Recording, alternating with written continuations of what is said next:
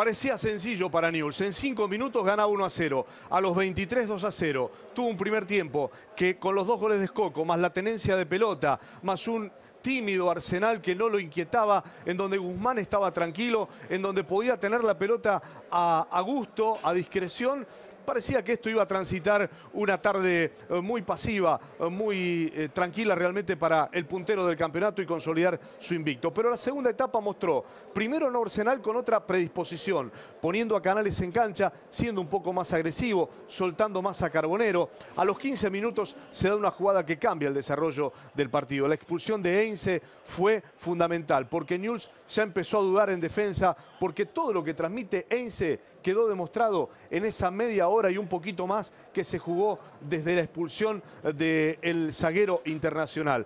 Por lo, porque ordena, porque grita, porque es el que siempre ve más allá de lo que significa el juego en sí. Ve la actuación de su equipo. Y News lo terminó sufriendo. Descontó Carbonero, Arsenal tuvo, estuvo cerca del empate, pero News sufriendo y luchando terminó cerrando un partido que el primer tiempo era para desfilar. El segundo lo sufrió, pero sigue siendo el puntero del campeonato cómodo por ahora y con argumentos sólidos.